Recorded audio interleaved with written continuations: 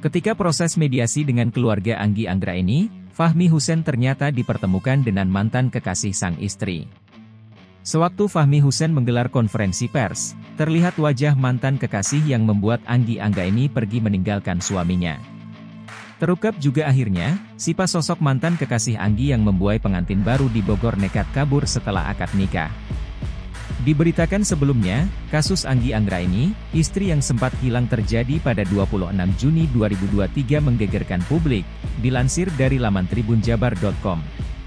Ketika disinyalir hilang misterius, Anggi sama sekali tidak membuat Fahmi Husen, suaminya curiga. Sebelum pergi meninggalkan rumah, Anggi mengaku bila ingin mengambil pesanan ayam geprek.